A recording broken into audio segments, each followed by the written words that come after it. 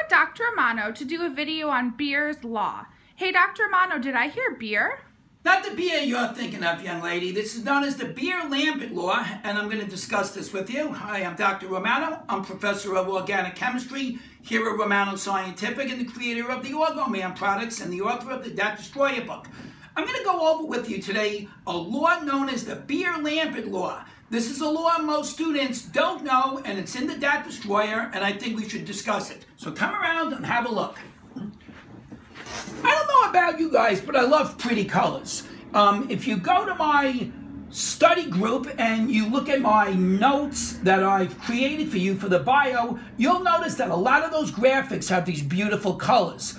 Um, I think colors are wonderful. It gives you a good perspective of things, and it sort of makes studying a little bit easier and actually fun. Um, color is a component of light. And if you absorb one of the light components, you would see what we call the, the complementary color. For example, if you absorb red light, that means the color that you actually see is green. If you were to absorb orange light, you actually see the complementary color of blue. Now, the amount of light that a substance absorbs is going to be measured by a device called a spectrophotometer. If you've never seen it, I'm sure if you went to school and asked one of the professors, can you show me what a spectrophotometer looks like? They'll be more than happy to show you what it looks like. Now, the greater the concentration of a substance, the more light would have the ability to be absorbed. Now, what we're going to do is we're going to look at a law called the Beer-Lambert law. And that says that A equals EBC. Now, A stands for absorbance. The little e stands for the constant. We call this the molar extinction coefficient.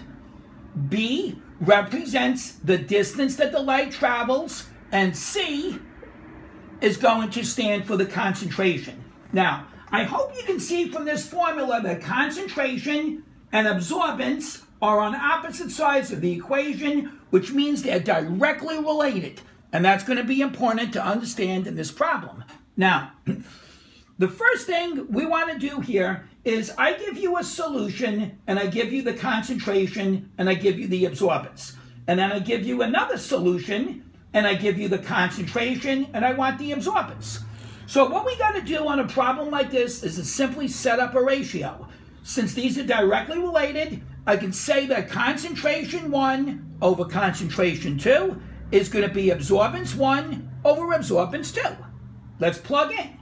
The first concentration I see is 7 to the minus 5. The next concentration, C2, is 1 to the minus 4. The first absorbance was 0.175, and I'm going to solve for A2. I cross multiply. Don't worry about the numbers not being nice. Then on the DAT, they'll work wonderfully, and in the destroyer, they work wonderfully. So what I'll do is I'll crisscross multiply, as you can see, and when I solved it, we get 0.25. I hope this helps. If you understand this much, I think you'll be fine for the DAT. I have two questions on the Beer-Lambert law, or Beer's law for short, in the DAT destroyer, and you'll have no problem sailing through. Okay, good day to you. Cheers. Bye-bye.